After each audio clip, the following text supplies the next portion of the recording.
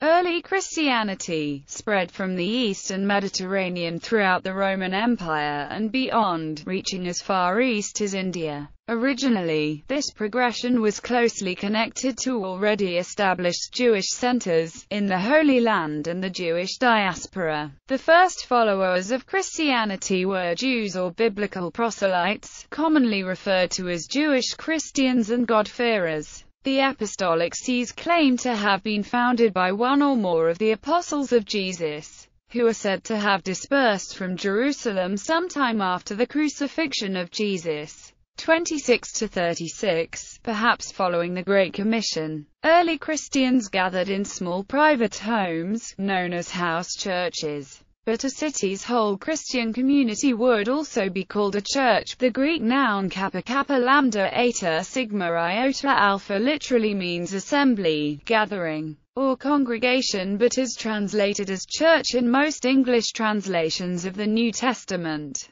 Many of these early Christians were merchants and others who had practical reasons for traveling to northern Africa, Asia Minor, Arabia, Greece, and other places. Over 40 such communities were established by the year 100, many in Anatolia, also known as Asia Minor, such as the Seven Churches of Asia. By the end of the first century, Christianity had already spread to Rome, India, and major cities in Armenia, Greece and Syria, serving as foundations for the expansive spread of Christianity, eventually throughout the world. Eastern Roman Empire Jerusalem Jesus and his apostles, disciples, and early followers, being Jewish or Jewish proselytes, traveled from Galilee to the Jewish temple in Jerusalem. 33, at which time the city was under Roman occupation as part of Judea province. After an incident in the temple where Jesus expelled the money changers that were making a monetary profit on temple grounds, he was crucified in Jerusalem at a site called Golgotha and buried nearby. According to Christian belief, on the third day he was resurrected, and after appearing to his disciples and others ascended to heaven. Jerusalem was the first center of the church, according to the Book of Acts, and according to the Catholic Encyclopedia, the location of the first Christian church. The apostles lived and taught there for some time after Pentecost.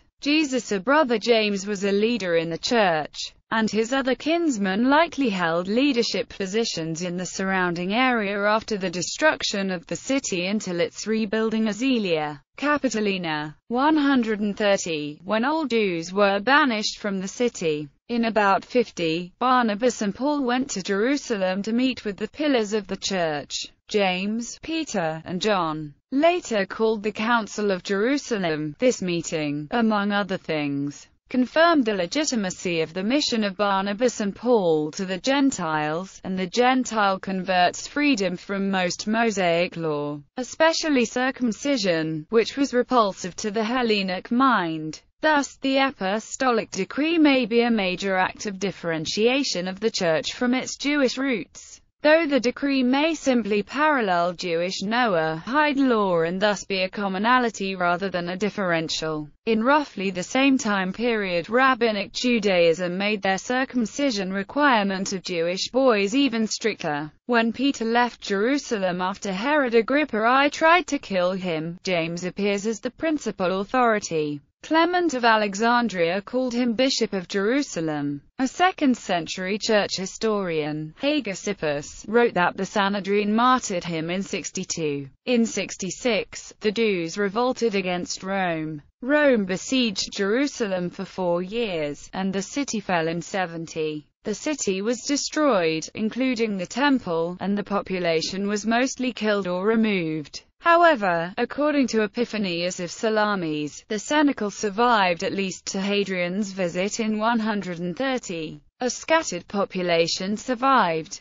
Traditionally it is believed the Jerusalem Christians waited out the Jewish-Roman wars in Pella and the Decapolis. The Sanhedrin relocated to Jamnia. Prophecies of the Second Temple's destruction are found in the Synoptics, specifically in the Olivet Discourse. In the 2nd century, Hadrian rebuilt Jerusalem as a pagan city called Aelia Capitolina, erecting statues of Jupiter and himself on the site of the former Jewish temple, the Temple Mount. Bar Kokhba led an unsuccessful revolt as a messiah, but Christians refused to acknowledge him as such. When Bar Kokhba was defeated, Hadrian barred Jews from the city, except for the day of Tisha B'Av. Thus the subsequent Jerusalem bishops were Gentiles for the first time. The general significance of Jerusalem to Christians entered a period of decline during the persecution of Christians in the Roman Empire but resumed again with the pilgrimage of Helena to the Holy Land c. 326-28. According to the church historian Socrates of Constantinople, Helena claimed to have found the cross of Christ after removing a temple to Venus that had been built over the site. Jerusalem had received special recognition in Canon 7 of Nicaea in 325. The traditional founding date for the Brotherhood of the Holy Sepulchre is 313, which corresponds with the date of the Edict of Milan which legalized Christianity in the Roman Empire. Jerusalem was later named as one of the Pentarchy, but this was never accepted by the Church of Rome. See also East-West Schism Hashtag Prospects for Reconciliation Antioch Antioch, a major center of Hellenistic Greece, and the third most important city of the Roman Empire, then part of Syria province. Today a ruin near Antakya, Turkey, was where Christians were first so called and also the location of the incident at Antioch. It was the site of an early church traditionally said to be founded by Peter who is considered the first bishop. The Gospel of Matthew and the Apostolic Constitutions may have been written there. The church father Ignatius of Antioch was its third bishop. The School of Antioch, founded in 270, was one of two major centers of early church learning. The Curetonian Gospels and the Syriac Sinaiticus are two early New Testament text types associated with Syriac Christianity. It was one of the three whose bishops were recognized at the First Council of Nicaea as exercising jurisdiction over the adjoining territories. Alexandria Alexandria, in the Nile Delta, was established by Alexander the Great. Its famous libraries were a center of Hellenistic learning. The Septuagint translation of the Old Testament began there and the Alexandrian text type is recognized by scholars as one of the earliest New Testament types. It had a significant Jewish population, of which Philo of Alexandria is probably its most known author. It produced superior scripture and notable church fathers, such as Clement, Origen, and Athanasius. Also noteworthy were the nearby Desert Fathers. By the end of their era, Alexandria, Rome, and Antioch were accorded authority over nearby metropolitans. The Council of Nicaea in Canon V affirmed Alexandria's traditional authority over Egypt, Libya, and Pentapolis and probably granted Alexandria the right to declare a universal date for the observance of Easter. See also Easter controversy. Some postulate, however, that Alexandria was not a center of Christianity, but of Christian-based Gnostic sects. See also Gnosticism. Asia Minor The tradition of John the Apostle was strong in Anatolia. The authorship of the Johannine works traditionally and plausibly occurred in Ephesus. 90 to 110, although some scholars argue for an origin in Syria. According to the New Testament, the Apostle Paul was from Tarsus and his missionary journeys were primarily in Anatolia. The Book of Revelation, believed to be authored by John of Patmos, mentions seven churches of Asia. The first epistle of Peter is addressed to Anatolian regions. On the southeast shore of the Black Sea, Pontus was a Greek colony mentioned three times in the New Testament. Inhabitants of Pontus were some of the very first converts to Christianity. Pliny, governor in 110, in his letters, addressed Christians in Pontus of the extant letters of Ignatius of Antioch considered authentic, five of seven are to Anatolian cities, the sixth is to Polycarp. Smyrna was home to Polycarp, the bishop who reportedly knew the Apostle John personally, and probably also to his student Irenaeus. Papias of Hierapolis is also believed to have been a student of John the Apostle. In the 2nd century, Anatolia was home to Quartodecimanism, Montanism, Marcion of Sinope, and Melito of Sardis who recorded an early Christian biblical canon. After the crisis of the 3rd century, Nicomedia became the capital of the Eastern Roman Empire in 286. The Synod of Ancyra was held in 314. In 325 the Emperor Constantine convoked the First Christian Ecumenical Council in Nicaea and in 330 moved the capital of the reunified empire to Byzantium, referred to as the Byzantine Empire, which lasted till 1453. The first seven ecumenical councils were held either in western Anatolia or across the Bosphorus in Constantinople, Caesarea Caesarea, on the seacoast just northwest of Jerusalem, at first Caesarea Maritima, then after 133 Caesarea Palestina, was built by Herod the Great. 2513 BC, and was the capital of Iudaea province and later Palestina Prima. It was there that Peter baptized the centurion Cornelius, considered the first Gentile convert. Paul sought refuge there, once staying at the house of Philip the evangelist, and later being imprisoned there for two years. The apostolic constitutions state that the first bishop of Caesarea was Zacchaeus the publican but the Catholic Encyclopedia claims that there is no record of any bishops of Caesarea until the 2nd century. At the end of this century a council was held there to regulate the celebration of Easter, according to another Catholic Encyclopedia article. After Hadrian's siege of Jerusalem, Caesarea became the metropolitan see with the Bishop of Jerusalem as one of its suffragans. Origen compiled his hexapla there and it held a famous library and theological school. Saint Pamphilus was a noted scholar priest. Saint Gregory the Wonder Worker, Saint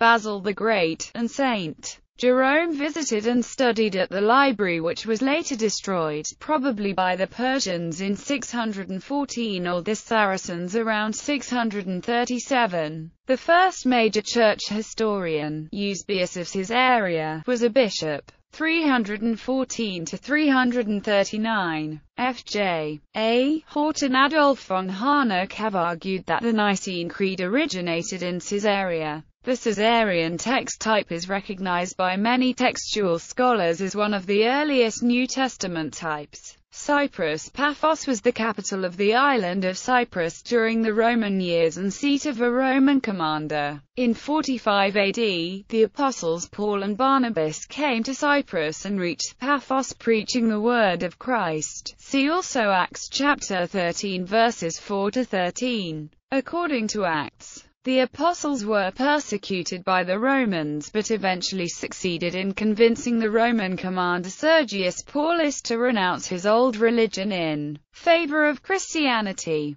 Barnabas is traditionally identified as the founder of the Cypriot Orthodox Church. Damascus Damascus is the capital of Syria and claims to be the oldest continuously inhabited city in the world. According to the New Testament, the Apostle Paul was converted on the road to Damascus. In the three accounts, he is described as being led by those he was traveling with blinded by the light to Damascus where his sight was restored by a disciple called Ananias then he was baptized. Greece Thessaloniki, the major northern Greek city where it is believed Christianity was founded by Paul, thus an apostolic see, and the surrounding regions of Macedonia, western and eastern Thrace, and Epirus, which also extend into the neighboring Balkan states of Albania and Bulgaria, were early centers of Christianity. Of note are Paul's epistles to the Thessalonians and to Philippi, which is often considered the first contact of Christianity with Europe. The Apostolic Father Polycarp wrote a letter to the Philippians, c. 125. Nicopolis was a city in the Roman province of Epirus Vetus, today a ruin on the northern part of the western Greek coast. According to the Catholic Encyclopedia, St. Paul intended going there and it is possible that even then it numbered some Christians among its population. Origen sojourned there for a while. Ancient Corinth Today a ruin near modern Corinth in southern Greece, was an early center of Christianity. According to the Catholic Encyclopedia, St. Paul preached successfully at Corinth, where he lived in the house of Aquila and Priscilla, where Silas and Timothy soon joined him. After his departure he was replaced by Apollo, who had been sent from Ephesus by Priscilla. The apostle visited Corinth at least once more. He wrote to the Corinthians in 57 from Ephesus, and then from Macedonia in the same year, or in 58.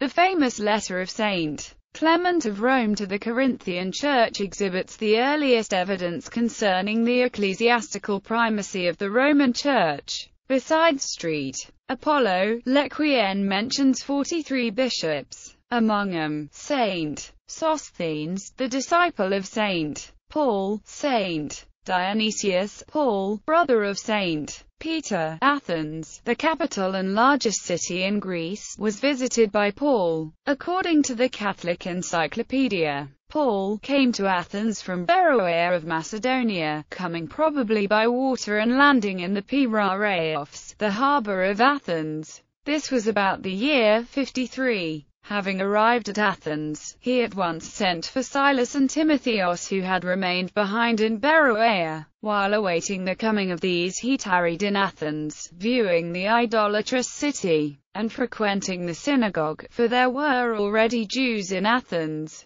It seems that a Christian community was rapidly formed, although for a considerable time it did not possess a numerous membership. The commoner tradition names the Areopagite as the first head and bishop of the Christian Athenians. Another tradition, however, gives this honor to Hierotheos the Thesmotheter. The successors of the first bishop were not all Athenians by lineage. They are catalogued as Narcissus, Publius, and Quadratus. Narcissus is stated to have come from Palestine, and Publius from Malta. In some lists Narcissus is omitted. Quadratus is revered for having contributed to early Christian literature by writing an apology, which he addressed to the Emperor Hadrian. This was on the occasion of Hadrian's visit to Athens. Another Athenian who defended Christianity in writing at a somewhat later time was Aristides. His apology was directed to the Emperor Marcus Aurelius. Athenagoras also wrote an apology. In the 2nd century there must have been a considerable community of Christians in Athens, for Hyginos, bishop of Rome, is said to have written a letter to the community in the year 139. Gortyn on Crete